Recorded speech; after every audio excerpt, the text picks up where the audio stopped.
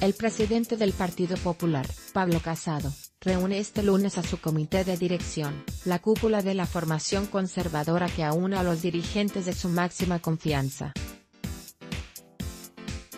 El encuentro tratará de buscar una salida a la profunda guerra interna abierta el pasado miércoles a raíz de las primeras filtraciones sobre el supuesto espionaje de su equipo a la presidenta de la Comunidad de Madrid, Isabel Díaz Ayuso, y la presunta corrupción de esta por las comisiones cobradas por su hermano por mediar a favor de adjudicaciones realizadas por el gobierno madrileño. La presión de los varones y el paso adelante de Feijóo para evitar el cisma obligan a Casado a plegarse ante Ayuso. Saber más La reunión se produce tras un durísimo fin de semana que ha vivido el líder del principal partido de la oposición.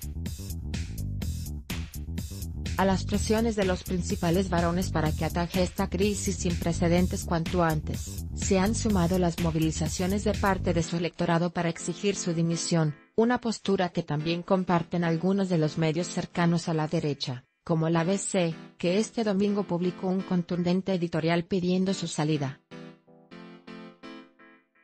Las competencias del órgano más cercano al líder del PP son, en realidad, limitadas. Según los estatutos, al comité de dirección le corresponde únicamente impulsar la actividad política del partido, desarrollar las labores de gestión y de coordinación de las áreas, departamentos y organizaciones territoriales, velar por el adecuado desarrollo de las actividades del PP, y elevar propuestas al Comité Ejecutivo Nacional o a la Junta Directiva Nacional que son los principales órganos ejecutivos de la formación de Casado, para poder convocar un congreso extraordinario como el que tratan de forzar algunos de los varones con más peso interno, como el presidente de la Junta de Galicia, Alberto Núñez Feijóo, las normas, exigen la celebración de la Junta Directiva, que está compuesta por unas 200 personas entre miembros de la dirección, diputados, senadores, dirigentes autonómicos y alcaldes de las principales ciudades, entre otros cargos. En casos de excepcional urgencia, como el que podría suponer la apertura en canal que vive el partido en estos momentos, los estatutos establecen que el Congreso puede ser convocado con tan solo 30 días de antelación siempre que lo respalden dos tercios de los miembros de la Junta Directiva cronología de un fin de semana Asiago Génova 3 se trata de evitar ese congreso que distintos dirigentes del PP ven ya como ineludible, porque podría suponer el relevo de Casado al frente del partido, tres años y medio después de su llegada a la presidencia de los populares.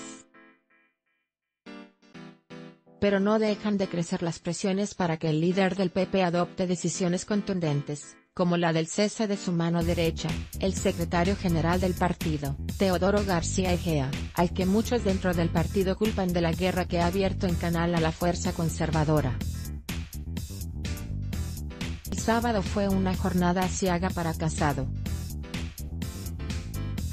Primero se conoció que el viernes, ya de noche, mantuvo en Génova 13 una reunión con Ayuso tan solo unas horas después de acusarla, durante una entrevista en la COPE, de prácticas corruptas y de un posible tráfico de influencias. Todo por la comisión que se llevó al hermano de la presidenta madrileña la adjudicación de una compra de mascarillas en abril de 2020, en el peor momento de la pandemia, por parte de la Consejería de Sanidad de su gobierno.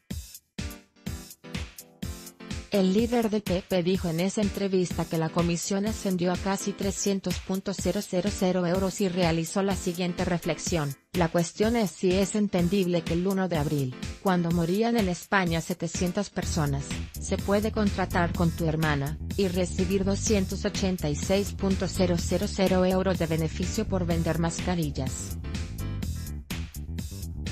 Minutos después, sin embargo, la propia Ayuso emitió un comunicado en el que aseguró que la comisión de su hermano por el contrato a dedo de su gobierno a Priviet Sportive, propiedad de un amigo de la presidenta, ascendió a 55.850 euros masiva, 67.785 euros. La factura Priviet Sportive no es una comisión por obtener el contrato de la administración, sino el cobro de las gestiones realizadas para conseguir el material en China y su traslado a Madrid, que es distinto, apuntó. Ya añadió, es una contraprestación por su trabajo, no una comisión por intermediación, sostiene la presidenta madrileña. Ayuso también admitió que hubo otros tres pagos de la empresa a su hermano pero no los quiso detallar. Ya el sábado, horas después de la reunión secreta que mantuvieron ambos dirigentes en Génova 13, el equipo de la presidenta madrileña aseguró que ese encuentro había sido infructuoso. Sin embargo, la misma dirección de Casado que el viernes vertió las citadas acusaciones gravísimas contra Ayuso, decidió por sorpresa cerrar en falso el expediente informativo abierto contra la dirigente madrileña solo dos días antes, el jueves. El comunicado hecho público, por el equipo de Ayuso, aportando la información requerida sobre la contratación de emergencia durante la pandemia se incorporará al expediente informativo abierto por el PP para concluirlo satisfactoriamente, señalaron fuentes de la Dirección Nacional del PP. Con Ayuso ganamos y con Casado la cagamos esta decisión no frenó el enfado de parte del electorado conservador con el equipo de Casado. Este domingo, varios miles de personas más de 3.000, según la delegación del gobierno en la capital se concentraban en la calle Génova de Madrid y en sus aledaños, a las puertas de la sede nacional del PP, para mostrar su apoyo a Ayuso, pese a las comisiones que su gobierno pagó a su propio hermano. Estos simpatizantes populares se posicionaron así con la dirigente madrileña en la guerra interna que ha partido en dos a la formación conservadora, y pidieron abiertamente la dimisión de Casado. La concentración que se reprodujo en distintas ciudades españolas había sido convocada a través de las redes sociales el pasado jueves tras salir a la luz el presunto caso de corrupción vinculado al hermano de Ayuso, y el supuesto espionaje puesto en marcha por Génova 13 para investigar a la dirigente madrileña. Durante la protesta se escucharon gritos como Casado traidor, Ayuso es la mejor, y se alternaban cánticos con el nombre de la presidenta, Isabel, Isabel, y Casado dimisión. En una pancarta el mensaje era claro, con Ayuso ganamos y con Casado la cagamos. García Egea, era, junto a Casado, el blanco de todas las críticas. Tiene que dimitir, coincidían con fórmulas más o menos duras todas las personas con las que habló este diario. Unas palabras que secundaban cánticos como Teodoro, Casado, sois el pasado, Egea dimisión o Egea, al mar menor. El líder del PP intenta sin embargo mantener en el cargo a su número 2, que paradójicamente es el principal encargado orgánico de mantener la cohesión interna del partido, si bien muchos dirigentes, incluidos algunos de los principales varones, le culpan directamente de ser el responsable de haber roto esa unidad, ningún dirigente territorial salió este domingo a criticar esa concentración.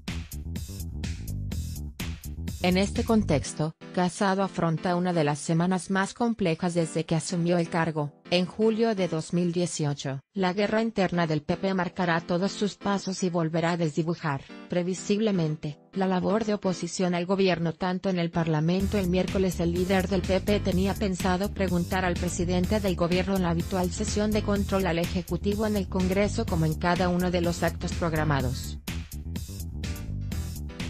A todo ello se sumarán los pasos que se den en la justicia a raíz de las denuncias presentadas por Más Madrid, PSOE Unides Podemos ante la Fiscalía Anticorrupción tanto por los contratos a dedo concedidos por la Comunidad de Madrid a empresas vinculadas con la familia de Ayuso, como por el supuesto espionaje a la presidenta urdido por la Dirección Nacional del PP.